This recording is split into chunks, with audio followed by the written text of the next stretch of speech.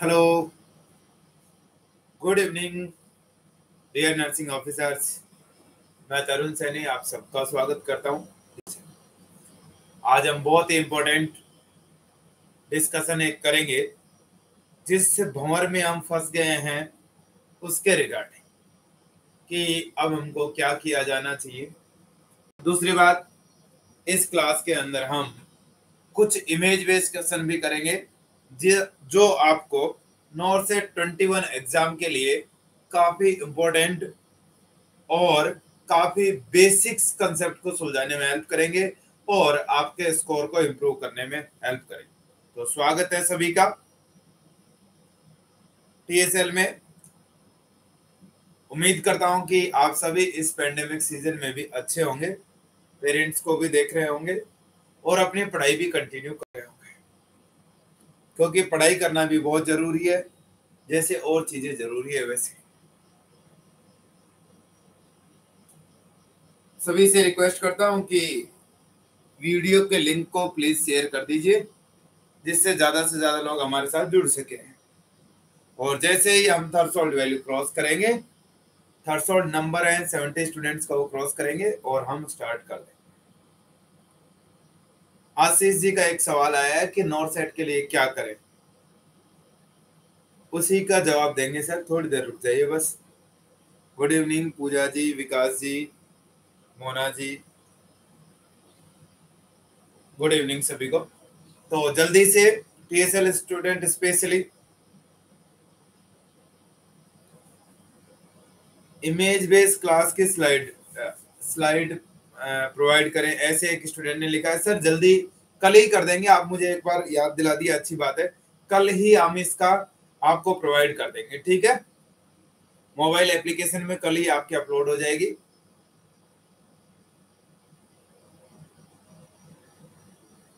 पूरी क्लासेज की तो पीडीएफ नहीं दे सकते बट एक क्लास का मैंने आपसे प्रॉमिस किया था कि 5000 से ऊपर व्यूज़ हो जाते हैं तो मैं आपको पीडीएफ दूँगा। और आपने उसके 5000 से ऊपर व्यूज़ कर दिए हैं। तो उसका ज़रूर मैं आपको पीडीएफ दूँगा। आरएमएल की कोई पोस्ट आई है क्या? आरएमएल की वेटिंग लिस्ट आई है सर। गुड इवनिंग जल्दी ही सेंट्रल गवर्नमेंट के हॉस्पिटल्स के सबकी वैकेंसी आएगी बट आएगी नॉर्थ के साथ ही। ठीक है? जल्दी का मतलब है कि इतना भी जल्दी नहीं कि उन्नीस सितंबर को पेपर हो जाए। मतलब आने वाली ही है ये वैकेंसी आपको थोड़ा सा ध्यान रखना। चलिए स्टार्ट कर दें। और कोई सवाल है तो लिखिए। आशीष जी ने लिखा है कि नॉर्थ सेट कब होगा? सर नॉर्थ सेट में दूसरे हॉस्पिटल्स की भी वैकेंसी आएगी। इसलिए ये कुछ डिले होगा। ऐसा नहीं है कि पाँच सात महीने डिले हो जाएगा बट डिले होगा। मेधा जी आरएमएल की वेटिंग लिस्ट आई है। एक स्टूडेंट ने मुझे फ़ोन करके ऐसे बताया है। कि आरएमएल की वेटिंग लिस्ट आई है कोई? गुड इवनिंग सभी का स्वागत है टीएसएल में। वीडियो के लिंक को ज़्यादा से ज़्यादा शेयर कर दीजिए और नए student please subscribe the channel अभी कर लीजिए जिससे दिक्कत नहीं आए।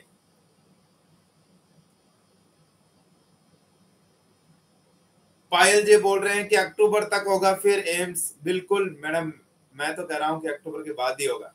पहले नहीं। ठीक है बट इसका मतलब ये नहीं है, कहीं पाँच, दस दिन बाद ही नोटिफिकेशन आ जाए और आप हाथ खड़े कर दो। ऐसा नहीं, अपनी पढ़ाई कंटिन्यू रखनी है। गुड इवनिंग हिमानी ने बोला है गुड इवनिंग तो गुड इवनिंग सभी को। हाँ जी, चले आगे। देवेंद्र जी ने बोला है, बहुत अच्छा पढ़ाते हैं, सर, मान गए आपको। देवेंद्र जी, पढ़ाने तो दो, अभी तो मैंने शुरू ही नहीं किया। ठीक है ऑनलाइन में पढ़ाने का इतना कुछ बेहतर नहीं है क्योंकि यहाँ पे बहुत डिस्टर्बिंग फैक्टर होते हैं। हाँ जी, जल्दी से कुछ स्टूडेंट और चाहिए हमको, फिर स्टार्ट करते हैं आशीष जी।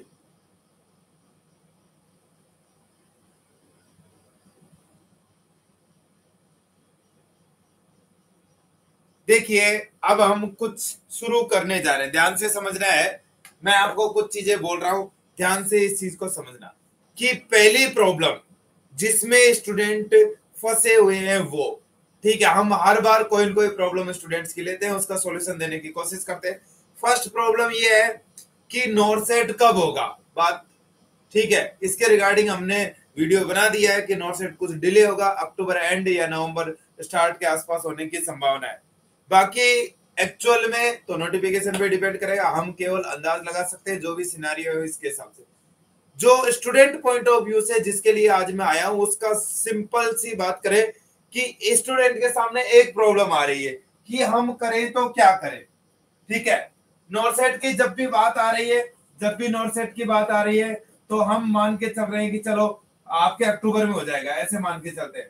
ठीक है? अक्टूबर या फिर स्टार्टिंग नवंबर या एंड अक्टूबर ये मान के चल लेते हैं कि इसमें हो जाएगा। ऐसे मान के चले तो भी ध्यान से समझिए कि स्टूडेंट ये सोच रहा है कि भाई इतना टाइम है नहीं। मेरे पास टाइम कम है, मेरे पास टाइम कम है। ये सोच सोच के साल भर तो गुजार दिए। ठीक है? कि मेरे पास टाइम कम है। ये सोच के साल भर निकाल दिया है। कुछ लोगों ने तो नोट सेट की वेटिंग का वेट कर करके साल भर निकाल दिया है। ये गलत बात है। जब तक रजिस्टर में साइन नहीं हो जाए सरकारी ऑफ़िस में, तब तक आपको वेट नहीं करना है, तैयारी करते ही रहना है ऑफिसर तो ध्यान से समझिए कि अब स्टूडेंट क्या करे? कुछ जो स्टूडेंट ने खुद ने कभी तैयारी नहीं की कोचिंग की है तो बहुत दिन हो गए, कभी तैयारी नहीं की, वो स्टूडेंट सोच रहे हैं कि अब मैं क्या करूँ? मेरा मान लो अक्टूबर में एग्ज़ाम होगा तो मेरे पास अभी देखा जाए तो पूरा सितंबर है और वो टू एंड हाफ़ मंथ है। ठीक है टू एंड हाफ़ मंथ है तो मैं ढाई महीने में क्या करूँ? ठीक है? अब इसके मन में अजीब अजीब सवाल आ रहे हैं। क्या आ रहे हैं? क्या मैं क्रैश कोर्स कर लू क्या? ठीक है। क्या मैं क्रैश कोर्स कर लू? या फिर मैं किसी कोचिंग में न्यू बैच में एडमिशन ले लू? ठीक है। या फिर मैं जो अब तक मैंने कॉलेज में पढ़ा है उसके हिसाब से सेल्फ स्टडी कर लू?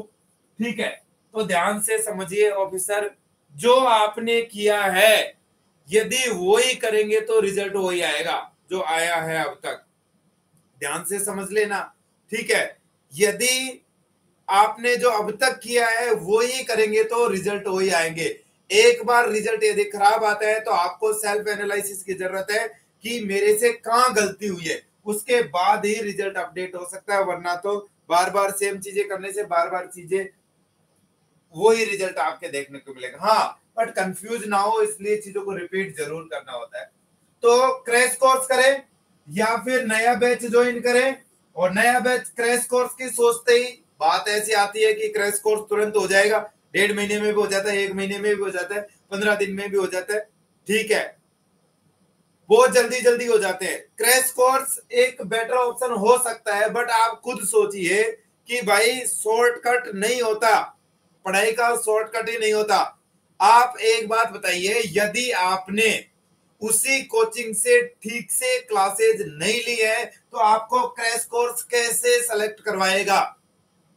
ध्यान से समझिए क्रैश कोर्स केवल एक ही कंडीशन में इफ़ेक्टिव हो सकता है, जब आपने छह महीने तक लगातार, कम से भी कम छह महीने तक, हमारे जैसे कोचिंग तो सात महीने लगाते हैं, ठीक है, छह महीने तक लगातार यदि आपने कहीं से कोचिंग किया है, और वही टीचर आपको क्रैश कोर्स कराएँ जिनसे आप पढ़े हो तो ही क्रैश कोर्स इफ़ेक्टिव हो। सकता है ऑफिसर ध्यान से समझे इसको। अननेसेसरी पैसे खराब ना करें। वैसे मेरे ये पर्सनल एडवाइस है, ना किसी कोई कोचिंग सेंटर के अगेंस्ट है, ना किसी स्टूडेंट के अगेंस्ट है। अपना अपना व्यू है, कोई कुछ भी कर सकता है। ध्यान से समझ लीजिए डायरेक्ट क्रैश कोर्स करने का कोई फ़ायदा नहीं है। ठीक है? कोई शॉर्टकट नहीं हो सकता पढ़ाई का। क्रैश कोर्स एक ही कंडीशन में इफ़ेक्टिव हो सकता है। जब आपने किसी कोचिंग से या खुद ने छह सात महीने लगातार स्टडी की हो और उसके बाद यदि हम क्रैश कोर्स करें तो वो डेफिनेटली आपके इफ़ेक्टिव होगा कि अब मैंने सब कुछ कर दिया मेरे शॉर्ट टर्म मेमोरी में वापस इसको भेजना है तो क्रैश कोर्स इफ़ेक्टिव होते हैं। समझ रहे हो बात को? कोई शॉर्टकट नहीं होता, पढ़ाई का मैं हकीकत बोल दे रहा हूँ। क्रैश कोर्स करने के चक्कर में एक चीज़ ज़रूर हो जाएगी, ये ढाई महीने भी खराब हो जाएँगे। फिर ज़ीरो से शुरू करना फिर से। और जो दिमाग का कचरा होएगा, वो अलग। दूसरा आता है कि नया बैच ज्वाइन करूँ क्या? ठीक है? देखो, जिन्होंने कोचिंग कर रखी है, उनके लिए पहले पर्सनल एडवाइस दे रहा दे रहा हूँ। जिन्होंने कोचिंग कर रखी है आपको पता है कि मेरी कोचिंग में सब कुछ मुझे समझा दिया है, मेरे अच्छे नंबर आ रहे हैं टेस्ट सीरीज़ देख देख ले अच्छे। तो स्टूडेंटों आपको कुछ करने की ज़रूरत नहीं है। आपको जो भी अच्छी लगे, एक टेस्ट सीरीज़ पकड़ लो और धड़ाधड़ आपके प्रैक्टिस करो नोट्स निकालो प्रैक्टिस करो नोट्स निकालो। बार बार नोट्स को क्लियर कीजिए। जो भी आपने किया है उसको क्लियर कीजिए। कोई कंफ्यूजन नहीं होना चाहिए। नए क्रैश कोर्स ज्वाइन करने की ज़रूरत पड़ेगी। नहीं है टेस्ट सीरीज़ ज़रूर रिकमेंड करूँगा टेस्ट सीरीज़ ज़रूर ज्वाइन करें, जो भी आपको अच्छी लगती है, वो। कम से कम एम्स का लेवल हो, बस। ऐसा नहीं है कि जिसमें आप गलत ना हो, वो ज्वाइन कर लो। ऐसा नहीं करना है, ठीक है? जो एम्स का लेवल के आसपास दे, वो आप ज्वाइन कर सकते हो, ठीक है? दूसरी बात की जाए कि हम तो कुछ स्टूडेंट तो फाइनल ईयर पास करके निकले अभी, कि वो क्या करें? तो ध्यान से समझिए, उनके लिए बेस्ट ऑप्शन है कि वो न्यू बैच ज्वाइन करे, बिना किसी के नॉर्थ सेट ट्वेंटी वन की टेंशन किए हुए। कल होता, आज और आज होता, अब हो। समझ रहे हो बात? वरना ज़्यादातर स्टूडेंट क्या गलती करते हैं? क्रैश कोर्स ज्वाइन करते हैं, डेढ़ दो महीने खराब करेंगे, उसके बाद दिमाग खाएँगे, नए बैच में इसमें भी नहीं पढ़ेंगे, क्योंकि मैंने तो कुछ सुन लिया है, मैंने तो कुछ सुन लिया है। दिमाग उनका सुनेगा ही नहीं।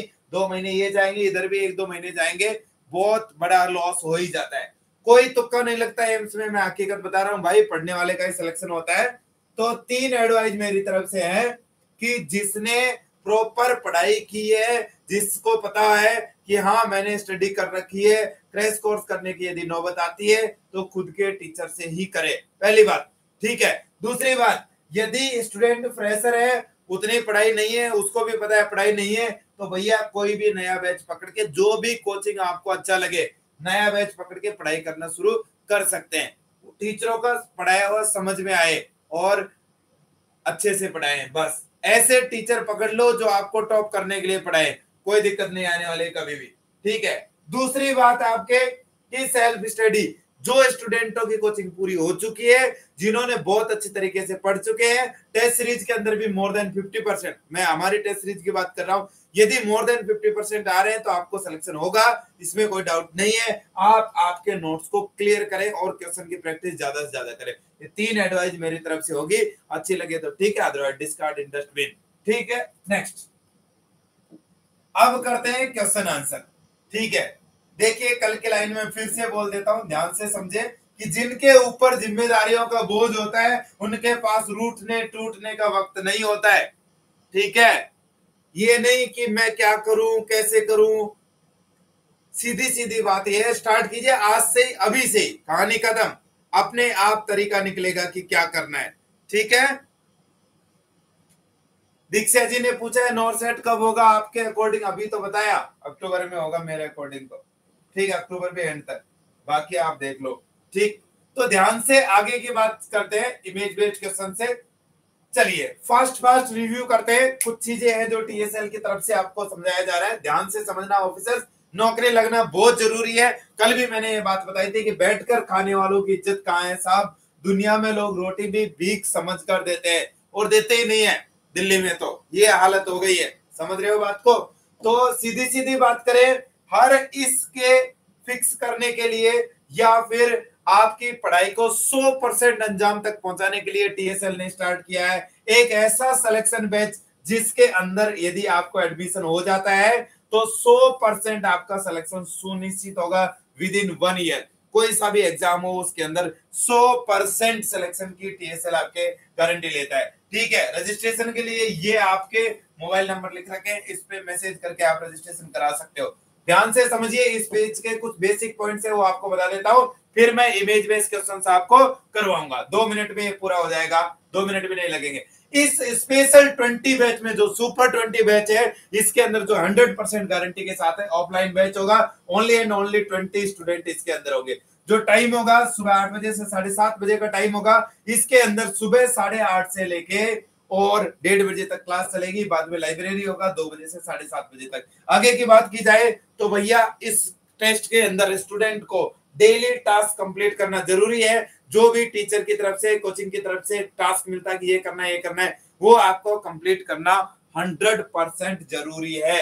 अदरवाइज़ बैच की मेंबरशिप खत्म हो जाएगी किसी भी कंडीशन में फोर डेज़ से ज़्यादा ऑफ़ नहीं रखने हैं। फोर डेज़ का ही ऑफ़ रहेगा, चार दिन कोचिंग भी बंद रहेगी। एक दिन की कैजुअल लीव टाइप की एक दिया जा सकता है। यदि कोई स्टूडेंट बीमार बीमार हो जाए तो एक दिन और महीने में दिया जा सकता है। नेक्स्ट बात की जाए की पॉइंट पे तो दूसरी समझ लीजिए कि 100 परसेंट इंडिविजुअल अटेंशन होगा। ठीक है? 100 परसेंट इंडिविजुअल अटेंशन होगा। डायरेक्ट मेरे अंडर में रहेंगे बच्चे। सारे के सारे। एक कोई कोचिंग वाली बात नहीं है। ट्यूशन की तरह है पूरी तरीके से। दूसरी बात, इसके अंदर क्लास के अंदर तभी एंट्री होगी जब लास्ट डे का टास्क कंप्लीट हो जाएगा। और यदि किसी वजह से लास्ट डे का टास्क कंप्लीट नहीं हुआ है तो उसको, जैसे मान लो अटेंड ही नहीं किया है किसी दिन क्लास को या फिर क्लास नहीं बताया तो फाइन देना पड़ेगा। क्लास के लिए पचास रुपए लाइब्रेरी अटेंड नहीं की है तो हंड्रेड रुपए देना पड़ेगा। ये टीएसएल नहीं लेगा, इन पैसों से स्टूडेंट के लिए बुक ही खरीदी जाएगी। आगे की बात करते हैं और नेक्स्ट सेकेंड डे भी यदि स्टूडेंट काम नहीं करता है टास्क कंप्लीट नहीं करता है तो सारी की सारी क्लास सस्पेंड कर दी जाएगी। दूसरी बात एडमिशन क्राइटेरिया बहुत टफ रखा है, क्योंकि हम चाहते हैं कि वही स्टूडेंट आए जो एक्चुअल में पढ़ना चाहता है। टीएसएल आपको मतलब 15 तारीख से 25 तारीख तक जो भी क्लासेज होगी डेमो क्लास स्टार्ट हो चुकी है, दो दिन कंप्लीट हो चुके हैं, पंद्रह आठ से जो भी क्लास होगी, पच्चीस आठ तक, ठीक है, इन सब के अंदर जो भी पढ़ाया जाएगा, उनको ऑनलाइन भी क्लास ले सकते हैं ऑफलाइन भी ले सकता है स्टूडेंट ये दस दिन की। जो भी पढ़ाया जाएगा, उससे एक टेस्ट क्रिएट कर किया जाएगा टेस्ट कंडक्ट किया जाएगा और इस टेस्ट में यदि 50 परसेंट आप क्वालिफाई कर जाते हो या जो भी टॉप ट्वेंटी स्टूडेंट है, उसको बैच में इन कर दिया जाएगा और उसका स्टडी स्टार्ट करवा दी जाएगी। ठीक है डेली की डेली तो क्वालिफाइंग 50 परसेंट होगा। फ़ीस की बात किया जाए तो इस बैच के लिए बहुत ही कम फ़ीस में रखा है ट्वेंटी फाइव थाउज़ेंड अगले बैच कम से भी कम जो आएगा फोर्टी थाउज़ेंड प्लस में आएगा। इससे नीचे संभावना ही नहीं है। अगला बैच फोर्टी थाउज़ेंड प्लस में ही आएगा। ठीक है, सौ परसेंट सिलेक्शन की हम बात कर रहे हैं। ऑफिसर, किसी भी कंडीशन में आपकी फ़ीस रिफंड नहीं होगी। किसी भी कंडीशन में स्टूडेंट की फ़ीस रिफंड नहीं होगी। वो बोला, मेरा सिर दर्द कर रहा है, मेरे तो पेट में दर्द हो गया है, अब मैं नहीं करूँगा, कोई एक्सक्यूज नहीं चलेगा। किसी भी कंडीशन में फ़ीस रिफंड नहीं होगी और स्टूडेंट को 100 परसेंट खुद का इस पे देना ही पड़ेगा। बाकी सारी चीज़ें सुलझाने के लिए टीचर है। ठीक है, आप चाहे तो रजिस्ट्रेशन के लिए इस नंबर पे कॉल कर सकते हैं। डिटेल्स आपको मिल जाएँगे। और पहला इमेज बेस्ड क्वेश्चन अब। हाँ जी, पहला इमेज बेस्ड क्वेश्चन क्या है ये? ठीक से देखिए। Officers image based question start हो चुके हैं। ठीक से देखिए। इमेज डिवाइस क्या है? आर्म रिस्ट्रेंट है क्या? ठीक है? या फिर जैकेट रिस्ट्रेंट है क्या? या फिर माइटन है क्या? या फिर हैंड प्रोटेक्टर है? क्या है ये जो इमेज में दिख रहा है? बेसिक फंडामेंटल के आपके इमेज में आपको यहाँ पे दिखा रहा हूँ।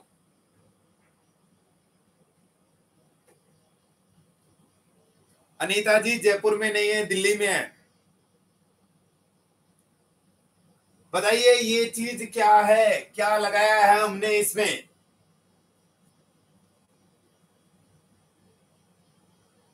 देखिए, ये पेशेंट का हैंड है, नीचे एक आपके स्पंज टाइप का एक पैड है, उसके ऊपर हैंड रखे, हमने इसको कवर किया हुआ टाई किया हुआ। ठीक है, ये क्यों? ये इसलिए करते हैं कि पेशेंट राइस ट्यूब ना खींचे आईवी ट्यूबिंग को ना खींचे कैथेटर को ना खींचे स्क्रेचिंग नहीं करे। ठीक है? स्क्रेचिंग नहीं करे। तो ये आपके जो इमेज डिवाइस है, इसका नाम है क्या? माइटन क्या नाम है? माइटन एक्चुअल में देखा जाए तो ये हैंड रिस्टेंड ही है, पर आपको यदि स्पेसिफिक नेम आए, याद है तो अच्छी बात है स्पेसिफिक नेम ज़्यादातर पूछे जाते हैं। तो ये क्या है? माइटन रीस्ट्रेंथ या मिटन रीस्ट्रेंथ आप इसको बोल सकते हो। ठीक है? किस चीज़ के लिए काम में लिया जाता है ऑफिसर देखिए, ये काम में लिया जाता है कि पेशेंट क्या ना करे डिस्क्लोज ना करे ट्यूबिंग को, कोई इन्वेजिव इक्विपमेंट में परेशानी ना करे रिमूव ना करे ड्रेसिंग को कैथेटर ना करे खींचे राइस ट्यूब ना खींचे इनके लिए काम में लिया जाता है। पेशेंट को फ़िज़िकल इंजरी से भी बचाता है। ठीक है? नेक्स्ट नेक्स्ट आपके सामने है देखिए कल वाली इमेज है बट क्वेश्चन कुछ और पूछा है। क्वेश्चन कुछ और पूछा है। ठीक है? ध्यान से समझिए। ये आपके सामने ऑप्शन निकाल देते हैं। ये आपके सामने ऑप्शन है। ओ oh, सॉरी कुछ और पूछा है। Which is known as loop colostomy बताइए। Option A, option B, option C, option D. कौन से को लूप कोलेस्टमी बोलेंगे? जल्दी से बताइए। कौन सी कोलेस्टमी को लूप कोलेस्टमी बोलेंगे? जल्दी से टाइप करके बताइए सभी नर्सिंग ऑफिसर बहुत अच्छे अच्छे क्वेश्चन है आगे। वेरी गुड आंसर सभी ने करीब करीब सही जवाब दिया है ऑफिसर्स ने। बहुत बढ़िया बात है। इसी बात पे लाइक कर दीजिए वीडियो को। बहुत अच्छा जवाब दिया है। ठीक है, ये ए एक्चुअल में देखा जाए, देखो यहाँ पे ये कोलन लूप लाइक स्ट्रक्चर बना रहा है। ठीक है, यदि इसमें होती है तो क्या बोलेंगे? लूप कोलेस्टमी बोलेंगे। बिल्कुल सही है, क्या बोलेंगे? लूप कोलेस्टमी बोलेंगे। भैया कौन कौन सा कॉलन है यहाँ पे? ये भी आपको बताना है। ठीक है ऑप्शन ए कौन से कॉलम की बात कर रहा है? असेंडिंग कॉलन ठीक है असेंडिंग कॉलन कौन सा है? असेंडिंग कॉलन है। तो असेंडिंग कोलेस्टमी भी बोल सकते हैं असेंडिंग कॉलन कोलेस्टमी भी बोल सकते हैं। ये वाला बी वाला ऑप्शन कौन सा है? ट्रांसवर्स कॉलन ट्रांसवर्स कॉलन ये आपके क्या लूप कोलेस्टमी को इंडिकेट करता है। ठीक है? और ट्रांसवर्स कोलेस्टमी ये कौन सा है आपके? डिसेंडिंग कोलेस्टमी या डिसेंडिंग कॉलन यहाँ पे ओपनिंग करेंगे डिसेंडिंग कोलेस्टमी ये आपके कौन सा? सिग्मोइड कॉलन कौन सा ऑफिसर सिग्मोइड कॉलन ठीक है, आपको पता है सिग्मोइड कोलन के अंदर जो कोलेस्टमी हो रही है, इसी को बोलते हैं एंड कोलेस्टमी क्या बोलते हैं? एंड कोलेस्टमी बोलते हैं ऑफिसर्स तो ये कुछ बेसिक चीज़ें भी हैं जो आपको इसके साथ साथ ध्यान से समझना है, ध्यान रखना है ऑफिसर्स नेक्स्ट चलते हैं इसके आंसर की तरफ़। तो ये देखिए, इसका आंसर कौन सा है? बी ट्रांसवर्स कोलेस्टमी को ही क्या बोलते हैं? लूप कोलेस्टमी बोलते हैं। ये। ट्रांसवर्स कोलेस्टमी को ही क्या बोलते हैं? लूप कोलेस्टमी बोलते हैं ऑफिसर ठीक है? काफ़ी अच्छे क्वेश्चन लेके आए हैं आज आपके सामने। नेक्स्ट क्वेश्चन की तरफ़ चलते हैं। ठीक है? ये देखिए। सॉरी इसमें इमेज लगाना भूल गए। डायरेक्ट आंसर दे दीजिए। चलिए डायरेक्ट आंसर दे दीजिए। Which is use to measure the specific gravity of urine बताइए। Specific gravity of urine specific gravity of urine किससे मेजर करते हैं? स्पेसिफिक ग्रेविटी ऑफ़ यूरिन किससे मेजर करते हैं? जल्दी से पढ़ के बताइए officer specific gravity of urine किससे मेजर करते हैं? वेरी गुड वेरी गुड बहुत बढ़िया। ठीक है? रिफ्रैक्ट्रोमीटर रिफ्रैक्टोमीटर बिल्कुल सही है। रिफ्रैक्टोमीटर भी स्पेसिफिक ग्रेविटी मेजर करने के लिए काम में लिया जा सकता है। दूसरी बात की जाए हाइड्रोमीटर यस हाइड्रोमीटर भी स्पेसिफिक ग्रेविटी मेजर करने के लिए काम में लिया जा सकता है। रिएजेंट स्ट्रिप भी काम में ली जा सकती है। मतलब आपके डी सही आंसर है। याद रख लीजिए ऑफिसर्स इसको ज़्यादातर हम या तो हाइड्रोमीटर आंसर देते हैं या रिफ्रैक्टोमीटर देते हैं। रिएजेंट स्ट्रिप से भी किया जा सकता है। मेरा पर्पज था आप तक ये तीनों चीज़ें पहुंचाना। I think it is sound ठीक है दैट्स व्हाई नेक्स्ट क्वेश्चन पे आ जाते हैं। ये आपके सामने नेक्स्ट क्वेश्चन आ गया है। ठीक, ध्यान से समझना है ऑफिसर ध्यान से समझना है, इसके अंदर कुछ मैंने एक इंटरेक्टिव बनाया है क्वेश्चन को। ऑफिसर्स क्वेश्चन को काफ़ी इंटरेक्टिव बनाया है। खेला होने वाला क्वेश्चन है। तो समझना है ठीक से। खेला होने वाला क्वेश्चन है ये। ठीक है? तो क्या पूछा है which point is accurately denoting specific gravity of urine ये आपका यूरिनोमीटर या हाइड्रोमीटर डाला हुआ है। ठीक है, पहली बात तो अब चलो मैं बाद में समझाऊँगा। आप ए बी सी करके आंसर दे सकते हैं। तीन ही ऑप्शन है। पॉइंट ए मतलब ये वाला ये वाला, ये पॉइंट ए ये मतलब पॉइंट बी और पॉइंट सी मतलब ये वाला। यहाँ, अब बताइए, कौन सा पॉइंट बता रहा है? कौन सा पॉइंट बता रहा है कि यूरिन की स्पेसिफिक ग्रेविटी कितनी है? जल्दी से। प्रैक्टिकल बेस के क्वेश्चन है ऑफिसर्स कहीं नहीं मिलेंगे ऐसे क्वेश्चन टीएसएल खुद क्रिएट कर रहा है। प्रैक्टिकल बेस के क्वेश्चन टीएसएल खुद क्रिएट कर रहा है भाई। वेरी गुड आने लग गए उठपटांग जवाब सभी के। जैसे ही एक क्वेश्चन को ठीक से क्रिएट करो, सब बाहर हो जाते हैं। भाई ऐसे ही क्वेश्चन आते हैं मैं। पहले बोल रहा हूँ, रटा हुआ कुछ नहीं आता है।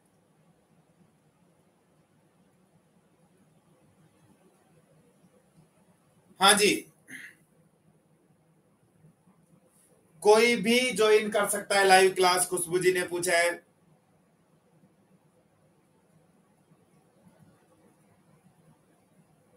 त्रिभुवन जी ने काफ़ी सराहना की है। मैं क्लास के बीच में नहीं ले रहा हूँ कमेंट को।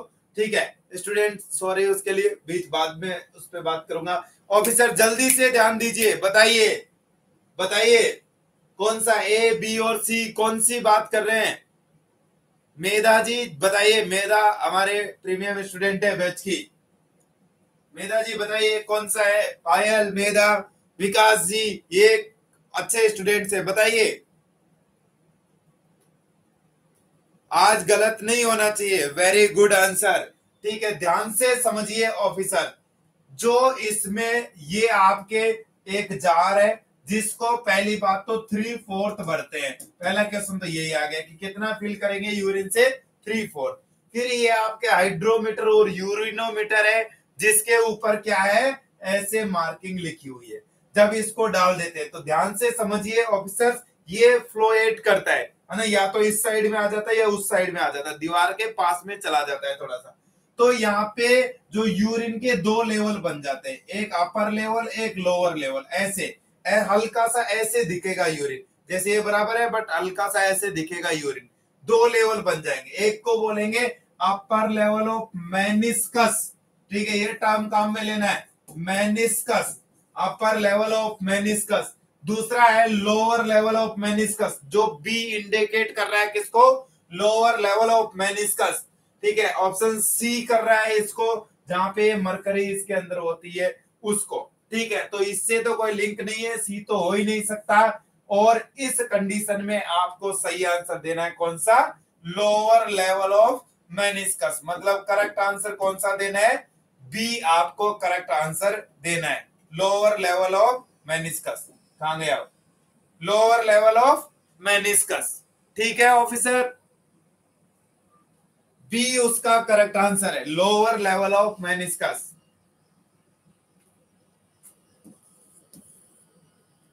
next सबका सही निकल गया टीएसएल वालों का और कुछ बार वालों का भी सही निकला है, कोई बात नहीं। ये ध्यान से समझिए। देखिए, ये इस इंस्ट्रूमेंट को बीटाडीन के साथ वॉश किया जा रहा है। इंस्ट्रूमेंट ठीक से देख लीजिए क्या है। मैं इसी इंस्ट्रूमेंट के बारे में पूछ रहा हूँ। ठीक है? एक प्रैक्टिकल बेस का क्वेश्चन है। इसको जो भी ये चीज़ है, ध्यान से एक बार देख लीजिए। ठीक है? और क्वेश्चन पढ़ लीजिए कि क्वेश्चन में पूछा क्या है। ठीक है क्वेश्चन पढ़ लीजिए क्वेश्चन में पूछा क्या है? फिर बताना जवाब।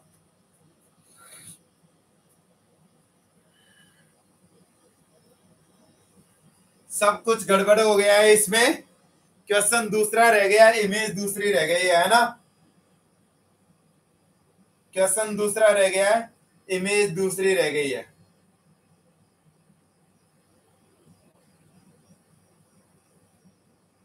ठीक है ध्यान से समझिए। एक one minute please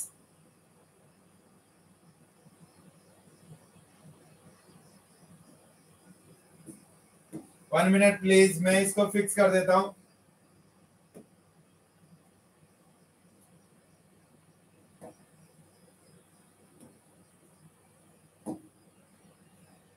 देखिए, इसको काट दीजिए यहाँ से। ठीक है? यू टू फोर इतना ही है। ठीक है, पुरानी इमेज से एडिट किया है, इसलिए दिक्कत हो गई। इतना ही है। अब अब जवाब दीजिए इसके। हाँ जी, अब जवाब दीजिए क्वेश्चन एडिट हुआ है थोड़ा सा सॉरी अब जवाब दीजिए इसका। वेरी गुड सही जवाब दे रहे हैं आप लोग। बहुत बढ़िया। आजकल खूब अच्छे जवाब दे रहे हैं मतलब एम्स की तैयारी अच्छी हो रही है आपकी। ठीक है, देखो ये क्या है? एक्चुअल में देखा जाए तो क्या नाम है? इसका नाम लिख के बताओ जल्दी से। ठीक है, एक ऐसा डिवाइस है जो यहाँ से इसके स्क्रू होता है, यहाँ से ओपन हो जाता है। तो वेजाइनल ओपनिंग रिमेन रखने के लिए, ठीक है? वेजाइनल ओपनिंग रिमेन रखने के लिए ये काम लेते हैं, ठीक है? और वेजाइनल ओपनिंग रिमेन रखने के लिए मोस्ट कॉमन प्रोसीजर की बात की जाए तो आपके कौन सा? पेप्स स्मीयर के लिए काम में लेते हैं। किसके लिए? पेप्स स्मीयर सैंपलिंग के लिए काम में लेते हैं। ठीक है? पेप्स स्मीयर सैंपलिंग के लिए काम में लेते हैं।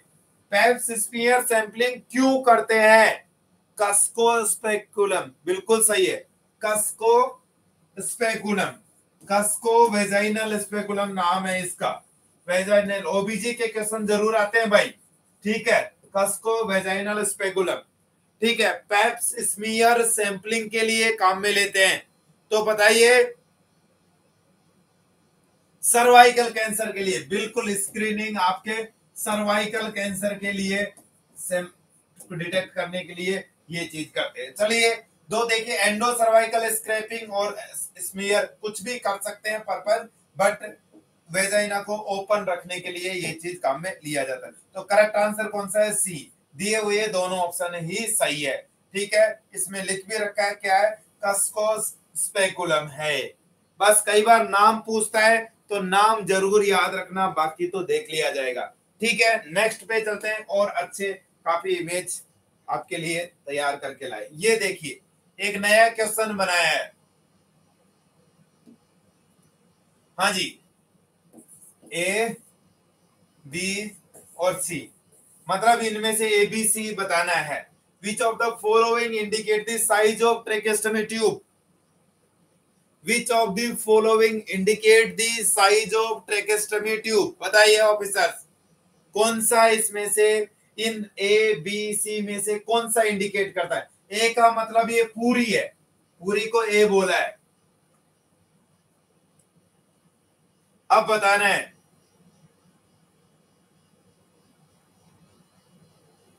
Very good answer. आज तो बहुत बढ़िया सवालों के जवाब दिए हैं आपने। बहुत अच्छी बात है। मज़ाक नहीं कर रहा हूँ एप्रिसिएबल है। आपका नॉलेज काफ़ी अच्छा हो चुका है। आप अब नॉर्थ सेट के कहीं न कहीं काबिल होने की स्थिति में आ गए हैं। ठीक है? काफ़ी अच्छा नॉलेज हो रहा है। बहुत बढ़िया ऐसे मेहनत करते रहोगे तो। देखो, इस प्लेट को बोलते हैं फेस प्लेट ठीक है? फेस प्लेट या फिर फ्लेंज बोलते हैं। ये इंडिकेट करती है ट्रेकेस्टमी ट्यूब की साइज़ को। बाकी और कोई भी इंडिकेट नहीं करता है ट्रेकेस्टमी ट्यूब की साइज़ को। तो करेक्ट आंसर इसमें आएगा ए करेक्ट आंसर कौन सा आएगा? ए ठीक है? तो बहुत मेहनत कर रहे हो भाई। अच्छी बात है, ऐसे मेहनत करते रहिए। एक दिन आपके पेरेंट्स को नाज आप पे ज़रूर होगा। हाँ जी। पायल जी बोल रहे हैं all credit goes to TSL Payal ji, अभी तो नर्सिंग में लोग नाम ही नहीं जानते कि टीएसएल नाम की कोई चीज़ है क्या। बस आप लोगों के सिलेक्शन से ही इतिहास रचा जाएगा आपकी बात हाँ जी। बताइए। दी ट्रू रिगार्डिंग इमेज जल्दी से बताइए, बहन जी के हाथ में कुछ हो गया है और बहन जी ने पट्टी बाँध ली है। बताइए, क्या है क्या हुआ बहन जी को पता लगाओ।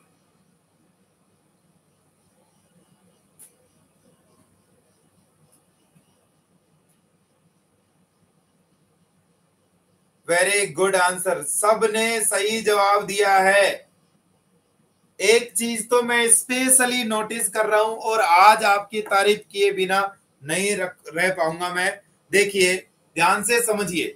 मतलब 99 percent ninety nine percent TSL student are giving accurate answer ठीक है? And approximately ten ten twelve percent other student are giving exact answer जब भी क्वेश्चन को घुमाते हैं जब भी क्वेश्चन को घुमाते हैं तो मोस्ट ऑफ़ अपने स्टूडेंट सही आंसर देते हैं। इसका कारण कुछ भी हो सकता है, हो सकता है हमारे पास, हमारे कोचिंग के बंदे ज़्यादा पढ़ने आ रहे हो, ये हो सकता है। बट मैं इतना मानूँगा कि आपको भले ही, आपको भले ही हमने अच्छी चीज़ हो सकता है, ना कराई हो बट आपको क्वेश्चन को देखना ज़रूर सिखा देंगे। और क्वेश्चन को देखना सिखा दिया ना ऑफिसर तो पक्की बात है, दस नंबर एक्स्ट्रा लेके चलो। ठीक है, क्वेश्चन पढ़ने की गलती से होते हैं, दस नंबर खराब। तो देखो, क्या हो रहा है? ये एक्चुअल में देखा जाए तो ये बैंडेज कौन सी है आपके? क्रैप बैंडेज है। ठीक है, कौन सी है? क्रैप बैंडेज है। ये बात भी सही है। और इसको देखो, यहाँ से आप ये बाँध रखिए, इसके हिसाब से देखो कि ये कैसे बाँध रखी है? फिगर ऑफ़ एट कैसे बाँध रखे फिगर ऑफ़ एट वैसे यहाँ पे एंकल पे रिस्ट पे वैसे भी फिगर और फिगर ऑफ़ एट ही बांधते हैं। एग्ज़ाम में तो इतना ही आता है कि यहाँ पे कौन सी टाइप की बैंडेजिंग होगी? ये सिंपल पूछता है। चलिए मैं आपको एक और सवाल देता हूँ। उम्मीद करता हूँ कि आप उसको सही करोगे। आया ना बोलो? देख और क्वेश्चन थोड़ा सा आगे बढ़ा के। देखिए स्टूडेंट्स के पेरेंट्स भी वीडियो देख रहे हैं। कितनी अच्छी बात है, कितनी अच्छी लगती होगी एक टीचर को। ठीक है? तो त्रिभुवन जी, बहुत बहुत आभार आपका कि देखो हमारे पिताजी के उम्र के लोग भी जब सराहना करते हैं तो काफ़ी अच्छा लगता है। वैसे हम वेट कर रहे हैं, तब से वेट कर रहे हैं कि एक दिन हमारे पिताजी भी बोलेंगे कि हाँ तू ठीक कर रहा है, पता नहीं कब बोलेंगे। ठीक है, शायद बिल्कुल क्लियर ट्रांसपेरेंट हो जाएगा तो ही बोलेंगे। है ना? मुश्किल ही बोलेंगे, मुझे तो लगता नहीं। है ना? ठीक है तो चलिए, कोई बात नहीं, अच्छी चीज़ें करते रहते हैं। तो नेक्स्ट क्वेश्चन हो जाए। ये लीजिए नेक्स्ट क्वेश्चन नेक्स्ट क्वेश्चन बहन जी के सिर में लग गई। बहन जी सारे दिन लड़ाई करती रहती है, इधर उधर तो कहीं ना कहीं लगी सकती है। है ना? अब की बार सिर फोड़ दिया बहन जी। बहन जी को ढाई सौ लोग मारने के लिए इसके पीछे भागे थे। ठीक है? इसको दो साल से मार रहे हैं बहन जी को। समझ रहे हो बात को? लखनऊ की सड़कों पे बहुत मारा है इसको। ठीक है? अब बहन जी के पट्टी बांधी जा रही। अब बताइए पट्टी से सवाल है हमारा, बहन जी से नहीं है। हैं? बताओ जल्दी से।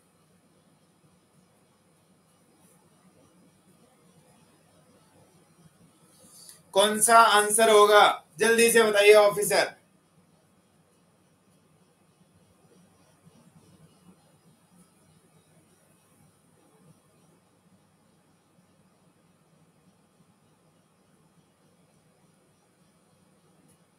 वेरी गुड सही आंसर ज़्यादातर लोगों ने सही आंसर दिया है। ठीक है? तो वेरी गुड सही आंसर दिया है। कोई दिक्कत नहीं है इसमें। ठीक है? आपको पता है छोटी छोटी चीज़ें छोटी छोटी चीज़ें इंसान को महान बनाते हैं और इसीलिए कुछ लोग अलग होते हैं। और मैं इस अलग वाली मुहिम में ऐसा नहीं है कि टीएसएल वाले आगे गए, इस बार कुछ और भी आगे गए और स्पेशली फिर मेधा ने फिर सही आंसर दिया है। मेधा बहुत ही अच्छे क्वेश्चन करती है, इसमें कोई डाउट नहीं है। तो मेधा जी, बहुत बहुत धन्यवाद आपको इतना सोचने के लिए। इट इज़ गोज बैंडेज ठीक है question is asking about bandage type of bandage not bandaging technique not bandaging technique question is asking about type of bandage, not bandaging technique. समझ रहे हो बात को? हल्का सा खेला किया है बस। ठीक है? हल्का सा खेला किया है बस।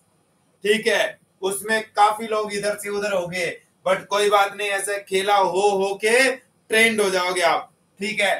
तो सही आंसर दिया है। बैंडेजिंग टेक्निक जो होगी वो यहाँ पे कैपलाइन बैंडेजिंग होगी, ठीक है? कैसी बैंडेज अप्लाई कर रहे हैं? कैपलाइन बैंडेजिंग होगी और बैंडेज यहाँ पे पट्टी वाली बैंडेज काम में ले रहे हैं तो ये कौन सी है आपके गोज बैंडेज है, ठीक है? कईयों ने मान लो तुक्के में ए लगा दिया हो तो बहुत बढ़िया बात, है ना? बाकी ये गोज बैंडेज आपके है। तो ध्यान से, शांति से क्वेश्चन को पढ़ना होता है, वैसे इतना बुरा एम्स में नहीं होगा या तो ये ही दिया जाएगा या यही दिया जाएगा। फिर भी हो तो तैयार रहो, ठीक है? आग लगने पे कुआ थोड़ी खो देंगे पहले ही सबमर्सिबल डाल के टैंक भर के तैयार रखेंगे। लगते आग के ऊपर टूट पड़ेंगे पानी लेके। ठीक है? तब जाके बात बनेगी। बहुत बढ़िया बात है भाई। ठीक है? नेक्स्ट आगे के सवाल पे चलते हैं। नेक्स्ट ये आप देखिए थोड़ा सा, ये और हमने इमेज तो कहीं से लिया है। ये सट फलाना डिगरा पता नहीं क्या है। ठीक है, इनका ये कर्टेसी है कि उनसे हमने इमेज लिया है। ठीक है, बाकी आप खुद सोचिए ऑफिसर कि इसकी क्लीनिंग कैसे करेंगे। ये एग्ज़ाम में आने वाले क्वेश्चन है। वुंड क्लीनिंग डायरेक्शन एग्ज़ाम में आता ही आता है। हमने इसको फॉर्मुलेट किया है कि आप एक अच्छा जवाब दे पाओ। ठीक है, बताइए cleaning of this wound should be किधर करना चाहिए, किधर, किस डायरेक्शन में? सोच के बताना इस बार। एसेप्टिक टेक्निक के साथ चलना है मतलब खराब नहीं करना है ऊँट को। बताइए क्या क्लीनिंग टेक्निक रहने वाली है यहाँ पे?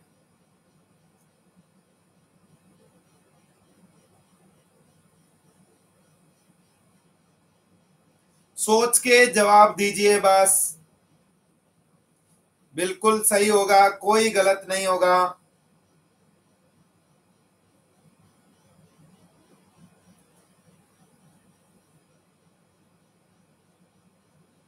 वेरी गुड सही आंसर आया है, योगिता जी ने सही लिखा हनुमान सर ने सही लिखा है, ठीक है। मेधा जी ने सही लिखा है, पूजा जी ने सही लिखा है, ठीक है। सभी स्टूडेंट ने करीब करीब सही आंसर दिया है। कुछ स्टूडेंट्स ने गलत आंसर दिया देखिए, तीन तरह के वुंड होते हैं ऑफिसर हमारे पास, ठीक है। पहली बात तो ये वुंड कौन सा है? नेम बताओ इस वुंड का। कौन सा वुंड है? कौन सा वुंड है? नेम लिखिए टाइप कीजिए। कौन सा वुंड है? कैसा दिख रहा है आपको? वर्टिकल है ओरिजोनटल है, ठीक है, या वुंड अराउंड द ड्रेन है। बताइए। या वुंड विद ड्रेन है, कैसा है? अरे क्लोज को छोड़ो। वो बताइए ओरिजेंटल है वर्टिकल है, या फिर वुंड विद ड्रेन है, कैसा है? मनोरंजन जी वर्टिकल ऐसे होता है, ऐसे होता है वर्टिकल ठीक है? इसको बोलते हैं वर्टिकल ऐसे वुंड को। ऐसे को बोलते हैं हॉरिजॉन्टल वुंड एच टाइप का। हॉरिजॉन्टल और ये ड्रेन और इसके अंदर अराउंड ऐसा। ठीक है? तो ध्यान से समझ लीजिए ऑफिसर ठीक? कि कभी भी वुंड को क्लीनिंग करने का क्वेश्चन आया तो ये ध्यान रखना है। यदि वर्टिकल वुंड है तो टॉप टू बॉटम क्लीन करेंगे। किधर करेंगे? टॉप टू बॉटम क्लीन करेंगे। और क्लीन करने के बाद यहाँ पे एक पैड लगा देंगे और बैंडेजिंग कर देंगे इसकी। ठीक है? दूसरी बात, ये आपके ओरिजेंटल वुंड है। इसको सुन लीजिए, इसके मिडल पार्ट से पेरिफेरल की तरफ़ आएँगे मिडल से पेरिफेरल की तरफ़ अपोजिट साइड में। मतलब यहाँ से इधर क्लीन करेंगे, यहाँ से इधर क्लीन करेंगे। ठीक है? ऐसे क्लीनिंग टेक्निक इसकी रहेगी। ठीक है? तो medial to lateral of the wound ये ज़रूर आपके सही है इसके अंदर आंसर राइट लेफ़्ट का कोई पंगा नहीं है। वुंड ड्रेन वाले वुंड है क्लीनिंग अराउंड ड्रेन करना है। तो सर्कुलर मोशन में सेंटर टू पेरिफेरल ठीक है? तो ये आपके ड्रेन वाले का ऑप्शन होगा। ये आपके ओरिजेंटल सॉरी वर्टिकल का ऑप्शन होगा। ये आपके ड्रेन वाले का ऑप्शन होगा। ये आपके ओरिजोनटल का ऑप्शन होगा। राइट टू लेफ़्ट ये कोई ऑप्शन नहीं है। ठीक है? ये आपके वुंड क्लीनिंग याद रखना है ऑफिसर ठीक है? वुंड क्लीनिंग याद रखना है। वैसे ये वुंड क्यों किया होगा? कौन सा ऑपरेशन किया होगा इसमें? सोच के बताओ, देखें। कौन से ऑपरेशन के लिए ये वुंड किया होगा इतना बड़ा? Related to any type of thyroid surgery officer कौन सा थायराइड सर्जरी के लिए कुछ न कुछ किया गया है यहाँ पे? ठीक है? ठीक करेक्ट आंसर सी नेक्स्ट बताइए ये। The image measuring device name is the image measuring device name is सोच के सोचिए, समझिए, फिर बताइए कि ये क्या है। क्वेश्चन में क्या पूछा है उसका ज़रूर ध्यान रखें। क्वेश्चन में क्या पूछा है उसका ज़रूर ध्यान रखें, ऑफिसर।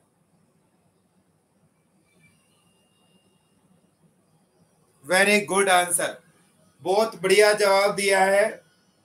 बहुत बढ़िया जवाब दिया है। ठीक है। देखिए एक्चुअल में बात की जाए तो ये इसकी बात कर रहे हैं। इस इंस्ट्रूमेंट की बात कर रहे हैं। ठीक है कि ये इंस्ट्रूमेंट क्या है?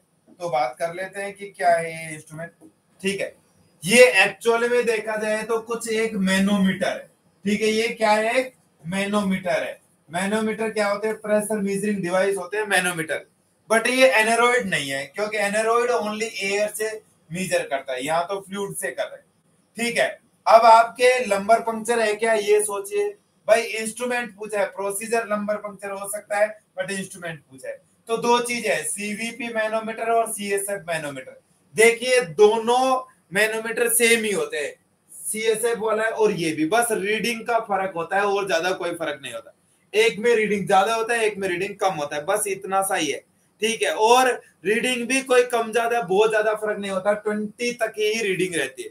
इसकी भी ट्वेंटी है, उसकी भी ट्वेंटी है approximately centimetre of H two तो इसकी मतलब ये आपके पाँच से पंद्रह और वो चार से बारह। ठीक है? इतना है। तो टेंशन लेने की ज़रूरत नहीं है। मतलब सेम ही आपको दिखेंगे। सेम ही होते हैं, मैं तो ये बोल रहा हूँ। ध्यान से समझ लीजिए इस चीज़ को। कि ये मैनोमीटर मैनोमीटर सेम है। दोनों मैनोमीटर सेम ही है। कोई मेजर डिफरेंस नहीं है, देखने से नहीं मिलेगा। बट आप सोचो कि लंबर पंक्चर कर रहे हैं, इसलिए क्विज पे आ जाएँगे हम सी एस एफ़ मैनोमीटर बोल सकते इस वजह से सी एस एफ़ मैनोमीटर बोल सकते बाकी सीवीपी मैनोमीटर ये है। तो जिन्होंने सीवीपी बताया, वो भी सही है बट गिवन ऑप्शन के हिसाब से प्रोसीजर के हिसाब से सी सही आंसर की तरफ़ जाएगा। ठीक है? आगे चलता हूँ मैं। ये देखिए आगे। ये इसका भी जवाब आप देखे बताएँ। बारह नंबर का क्वेश्चन है सॉरी ठीक है। The image instrument zero level should be at ये सीवीपी मैनोमीटर लगा दिया है, अलग से। आप बताइए इसका जवाब दीजिए प्लीज़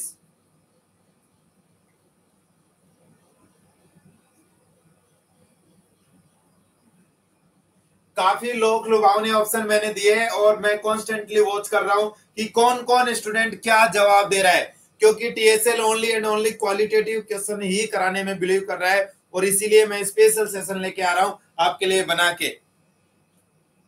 वेरी गुड आंसर ठीक है।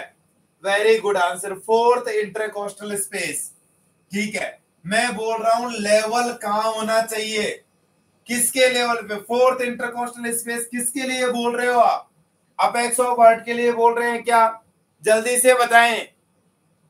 किसके लिए बोल रहे हो आप? ले, किसके लेवल पे होना चाहिए? किसके लेवल पे होना चाहिए? अपेक्स ऑफ़ हार्ट ठीक है? अपेक्स ऑफ़ हार्ट बहुत बढ़िया जवाब दिया है आपने। ठीक है? तो निशान लगा दीजिए। रॉन्ग इसके ऊपर रॉन्ग लगा दीजिए। इसके ऊपर महा रोंग लगा दीजिए और इसके ऊपर भी रोंग लगा। तीनों चीज़ें एक ही है वैसे, देखा जाए तो। ठीक है? फोर्थ इंटरकोस्टल स्पेस दोनों के लिए काम में लिया जाता है।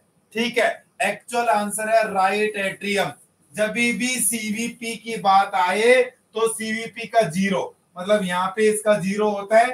ठीक है? नीचे माइनस फाइव तक होता है, ऊपर वन टू से शुरू हो जाता है ट्वेंटी तक। ठीक है? तो ये ज़ीरो किसके लेवल पे होना चाहिए? आपके राइट एट्रियम के लेवल पे होना चाहिए ज़ीरो किसके लेवल पे होना चाहिए? राइट एट्रियम के लेवल पे होना चाहिए ज़ीरो समझ रहे हो बात को? कोई अपेक्स अपेक्स जवाब नहीं देना है। मैं पहले बोल रहा हूँ TSL only and only quality education में और कम बच्चों को पढ़ाने में ही बिलीव करता है। ये सीधी सीधी बात ये है। अच्छा लगा है? क्वेश्चन डेफिनेटली अच्छा लगा होगा। प्लीज़ वीडियो को लाइक कर दीजिए। सब्सक्राइब कर लीजिए चैनल को अभी, ठीक है? क्या आपको लगता है कि सीवीपी मेज़रमेंट ठीक से सीखना चाहिए? क्या आपको लगता है कि इस पे प्रोसीजर चाहिए? तो यदि मोर देन 50 स्टूडेंट्स के कमेंट्स आते हैं तो मैं कल इस पे प्रोसीजर पूरा का पूरा आपको करवा दूँगा। नहीं आते हैं तो आराम से तकिया लगाओ और सो, ठीक है? जो यहाँ तो YouTube है, संख्या बल के आगे ही चलेगा मामला, ठीक है?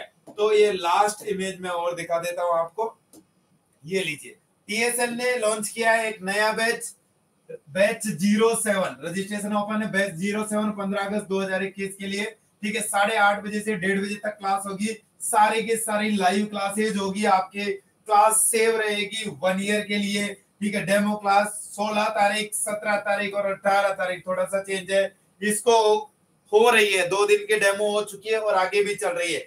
कोई भी आपका दोस्त हो फाइनल ईयर स्टूडेंट जो पास हो गया है अभी अभी, या जिन्होंने तैयारी करने की अब ठानी हो डेफिनेटली बहुत इंपॉर्टेंट है उनके लिए ये बैच रजिस्ट्रेशन कराना पड़ेगा, तब जाके पंद्रह, सोलह, सत्रह की डेमो क्लास मिलेगी. रजिस्ट्रेशन के लिए क्या करना है? टीएसएल मोबाइल ऐप डाउनलोड करना है. उसके अंदर डिटेल्स फिल करनी है. डिटेल्स फिल करने के बाद आर एस फाइव हंड्रेड पाँच सौ रुपए आपको गिवन नंबर और पे मत कर देना. इस नंबर पे आपको गूगल पे फ़ोन पे पेटीएम करना है। फिर इसी चीज़ को आपको व्हाट्सएप पे भेजना है। इसी नंबर पे आपका रजिस्ट्रेशन करके आपके मोबाइल पे रिसिप्ट आ जाएगी। तीन दिन की आप क्लासेस लेके देख सकते हो। यदि पसंद आता है तो रिमेनिंग फ़ीस और देनी है। पसंद नहीं आता है तो पाँच सौ भी रिफंड हो जाएगी। रिमेनिंग फ़ीस देने के बाद भी पंद्रह दिन का ग्रेस पीरियड रहेगा। यदि आपको लगता है कि कोचिंग ठीक है, सब कुछ समझ में आ रहा है तो आप कंटिन्यू कर सकते हैं अदरवाइज़ सारी की सारी फ़ीस रिफंड हो जाएगी। तो ये था आज की क्लास ऑफिसर ध्यान से समझिए, यदि आप चाहते हैं, ठीक है, जैसे हेमंत जी ने लिखा है राइट एट्रियम इज़ रॉन्ग तो रॉन्ग याद रख लो, ठीक है? ध्यान से समझिए, यदि आप चाहते हैं कि सीवीपी मीजरिंग पे क्लास होनी चाहिए प्रॉपर क्वेश्चन होने चाहिए तो एक घंटे की क्लास इस पे ले सकते हैं। प्रॉपर इमेज में सारी चीज़ें दिखा के, ठीक है? तो कम से भी कम पचास लोगों से ऊपर के कमेंट आएँगे तो ये चीज़ करेंगे। आज के लिए इतना ही। हँसते रहिए, मुस्कुराते रहिए। जय हिंद, जय भारत। कमेंट करके ज़रूर बताएँ, क्लास कैसे लगी?